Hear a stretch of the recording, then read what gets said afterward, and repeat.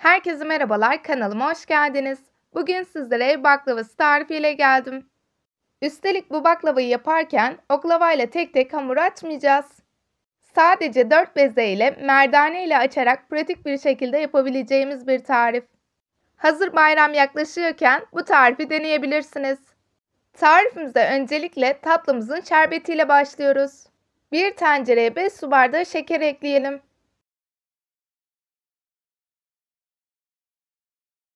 Üzerine de 5 su bardağı su ekleyip karıştıralım.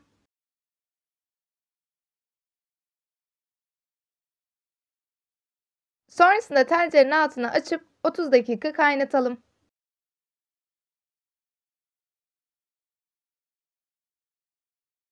Şerbet koyulaştıktan sonra yarım limon sıkıp 5 dakika daha kaynatıp soğumaya bırakalım.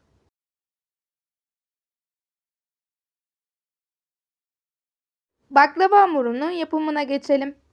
Bir kase 2 yumurta ekleyelim. Üzerine de 1 çay bardağı sıvı yağ, 1 su bardağı yoğurt, yarım çay bardağı eritilmiş tereyağı veya margarin, 1 yemek kaşığı sirke, 1 yemek kaşığı da limon suyu ekleyip karıştıralım.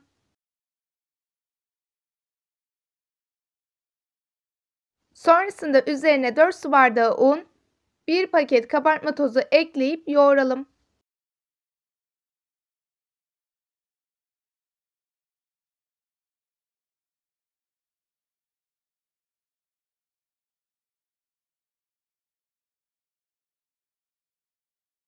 Yoğururken kıvamı ele yapışıyorsa yarım su bardağı un daha ekleyelim.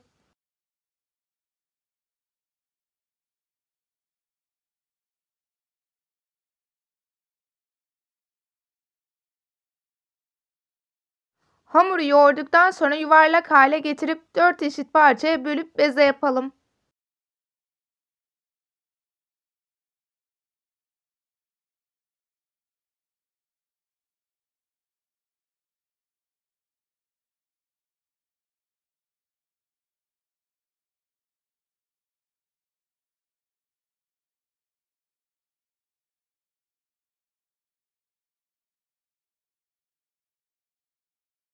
Bezeleri yaptıktan sonra üzerine poşetle kapatıp 10 dakika dinlendirelim.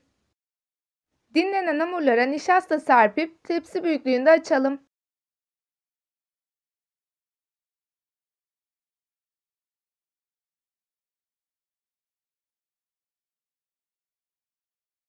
Hamuru açtıktan sonra yüzeyine nişasta ekleyip zarf şeklinde katlayalım. Zarf şeklinde katladıktan sonra tekrar bir zarf şeklinde katlayalım. Bu şekilde diğer bezeleri de yapalım. Kullanacağınız nişasta fark etmiyor. Buğday da olur, mısır da olur. Hangisi evinizde varsa onu kullanabilirsiniz.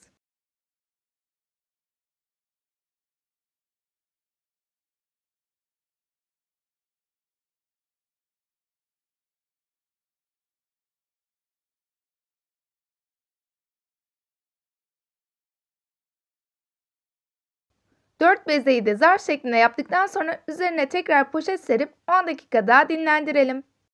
Dinlendikten sonra merdane yardımıyla hamuru incelterek açalım.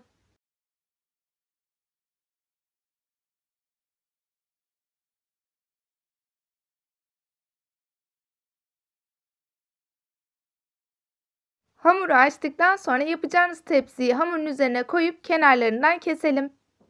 Tepsiyi sıvı yağ ile yağlayıp üzerine kestiğimiz hamuru alalım. Kenarlarına da kalan parçaları ekleyelim. İkinci bezeyi de aynı şekilde açıp tepsimize serelim. Açtığımız hamurun kenar kısımları kalın kalabiliyor. Onları merdane ile açıp ekleyebilirsiniz.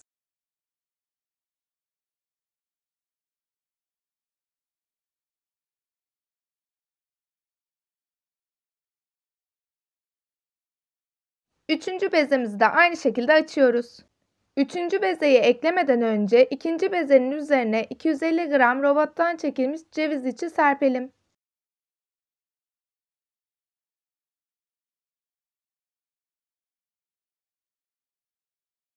Sonra üzerine üçüncü bezeyi serelim. Ben sererken kenarlarını önce kullanıyorum. Sonra üzerine hamuru yerleştiriyorum.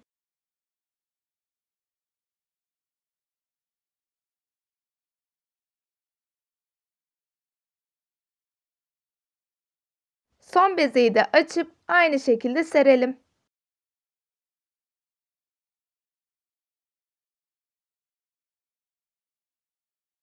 Tepsinin kenar kısmındaki hamurları bıçakla içe doğru düzeltelim. Sonrasında dilimlemeye geçelim. Ben yıldız şeklinde dilimlemeyi tercih ettim. Öncelikle ortadan artı şeklinde kesiyorum. Sonrasında her üçgeni V şeklinde kesiyorum.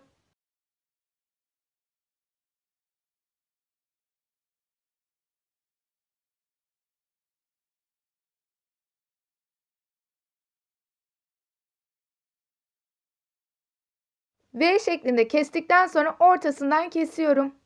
Kalan kısımları da düz kesiyorum. Diğer kalan üçgenlere de aynı işlemleri uygulayalım. Dilerseniz bu şekilde değil de karede kesebilirsiniz.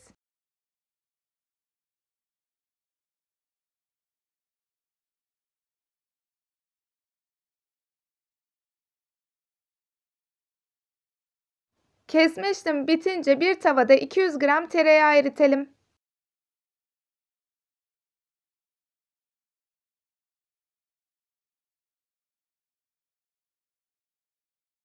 Tereyağı eridikten sonra üzerindeki köpüğü alalım. Sonrasında içerisine bir su bardağı sıvı yağ ekleyip karıştıralım. Sonrasında hamurumuzun üzerine eşit miktarda dökelim. Baklavamızı önceden ısıtılmış 160 derecelik fırında 45-50 dakika ara katları açılana kadar pişirelim. Baklava piştikten sonra soğutalım. Şerbet de baklava da soğuk olacak. Soğumuş olan baklavaya şerbeti dökelim. 5-6 saat sonra şerbetini çekmiş oluyor.